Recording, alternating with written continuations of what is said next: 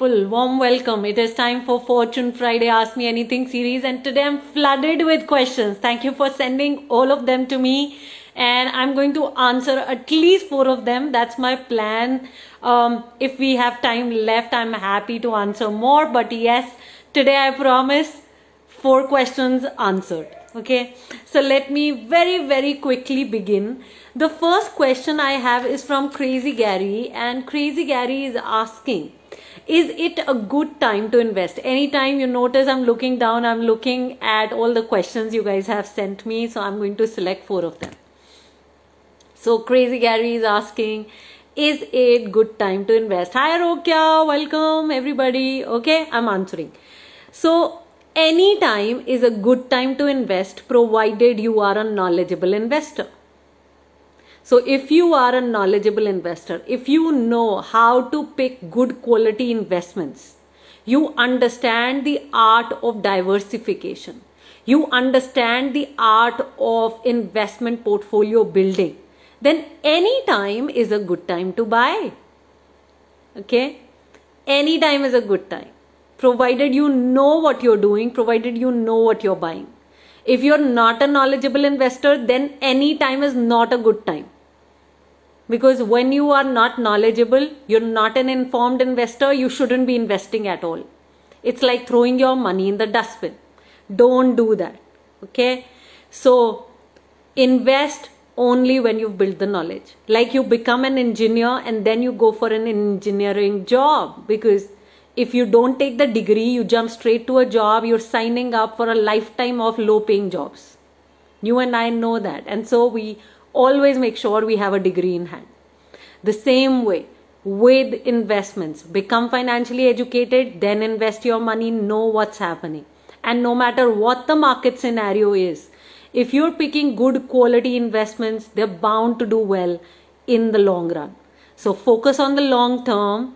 Don't focus on the short term. There is nothing like get rich quick scheme so focus long term, make sure you have proper goals set for yourself.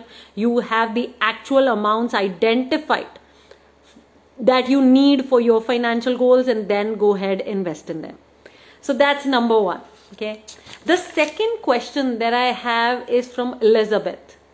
Hi Hasmita, thanks for your question. Today I'm flooded with questions. So let's see if I can answer yours. But yeah, I'm already taking the questions I have received everybody if you have questions make sure we put out a post. We also put out a story on ask me anything series. Make sure you send in your questions right there. Okay so please send them in. Hi rupal. Welcome. Okay so the question from elizabeth is is it a good time to invest in mutual funds? So given what's happening right russia has in a way invaded ukraine and lot of unrest right here in the world. Global economy is hit. Indian economy is hit. Yesterday the stock market was down. And yes when the market is down it's a great opportunity to buy good quality mutual funds equity mutual funds and good quality stocks. So elizabeth if you know the step by step methodology to pick good quality equity mutual funds you know the step by step methodology to pick good quality stocks, then yes, given the market conditions, especially when something happens and the market slides, it's a great opportunity to buy into good quality investments. And anytime a war has happened, look at the three months, uh, you know, three three months after that, six months after that, the market has always recovered. This stock market has been around for years, decades and it's going to be around for many, many more years. So just persist, okay? Go on, like really keep going. That's what you need to be doing. And Elizabeth, if you don't know the methodology to pick good quality mutual funds, I highly recommend you learn from us at Women on Wealth, become financially educated, then only invest in mutual funds. Because if you're investing in mutual funds and without know how you're investing on hearsay, you don't know why you're picking a certain mutual fund, then there's no point. Because then you're just gambling. And investments are not gambling, okay? Investing is investing, gambling is gambling. Gambling is very different from investing. Investing is when you know what you're doing, you're taking a calculated risk, a very, very knowledgeable risk. You understand what you are headed for. Okay, so that's how it is. Okay, Kanchan is asking, Kanchan Dhar, and everybody who's joining, do acknowledge that you're around. Allow me to know that you are here.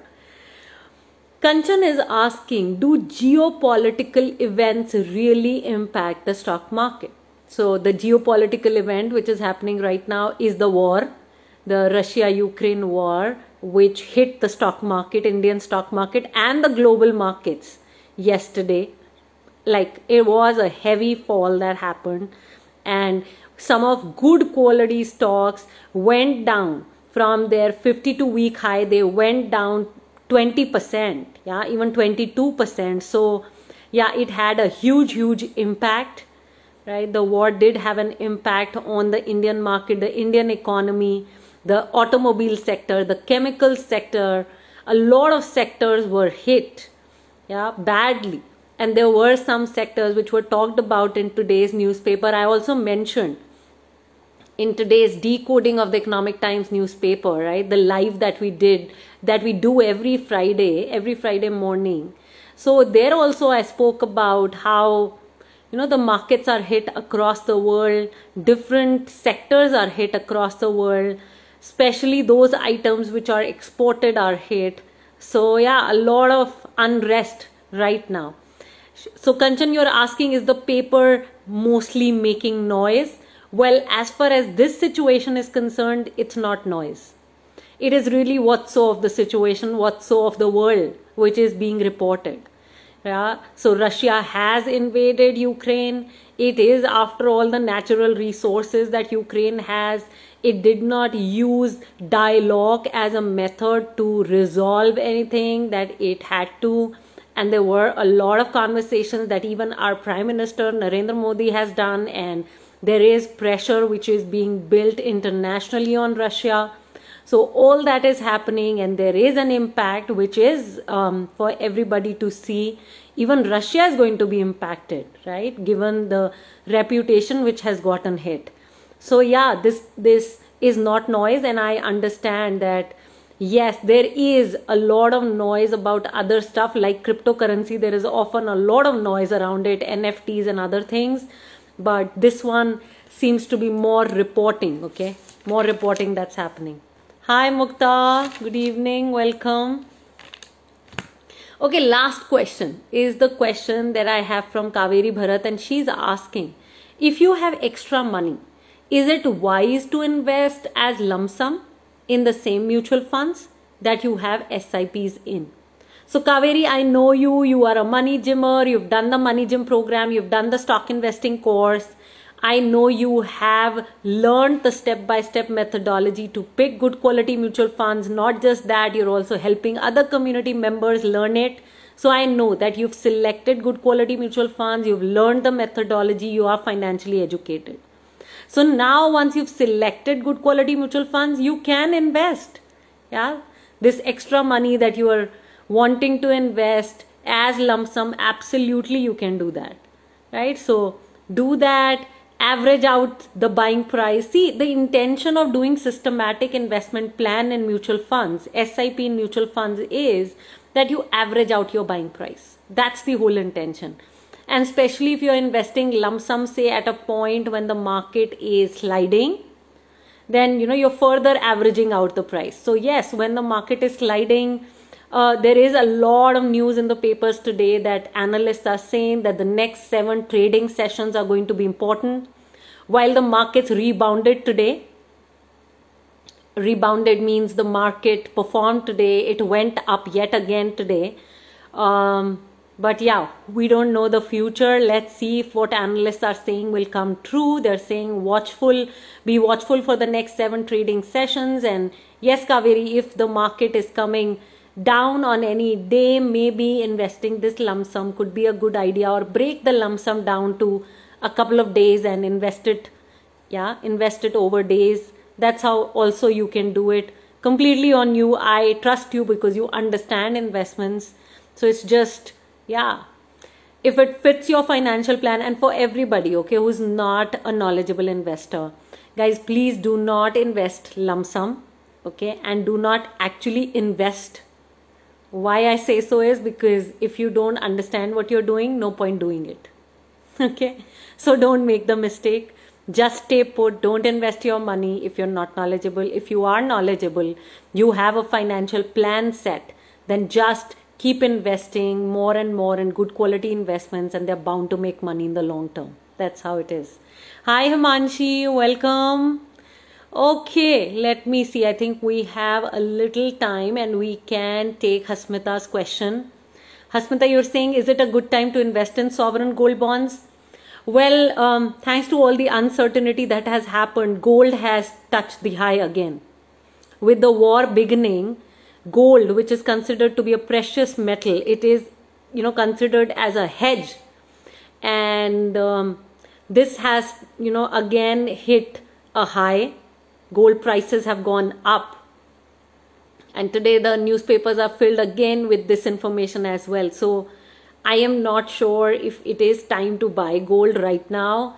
Um, yes sovereign gold bonds are one of the best ways to invest in gold because they give you the best returns at least that's what history informs us. But at the same time right now the tranche is not out. Yeah the tranche will come in a while. And um, yeah i i am not sure if exactly right now is the right time. But yeah you know if you're a knowledgeable investor you've been investing in gold bonds for some time and you want to further average it out your gold bonds or gold as a category is not 10% of your equity investments, then go ahead, um, you know, invest, don't wait. And uh, mostly uh, gold bonds have that kind of track record that they make money over the long term for its investors. So, yeah, for everybody who's listening, sovereign gold bonds is not for short term investing. There is no trading that happens here, there is a lock in period. So, eight years is a lock in period. So, yeah, if you're looking for something short term then gold funds it is. But of course you need to know how to select good quality gold funds before you get into them. So yeah hasmita i trust you got your answer and everybody i close the live here thank you for participating thank you for sending your questions i really enjoy looking at them so make sure week after week you keep sending the questions in advance so that I can answer them for you and really, really take care of you and make sure that you're moving forward towards your financial success. On this note, I'm closing the live. Keep coming back. Loads of love. Take charge. Stay safe. Bye bye.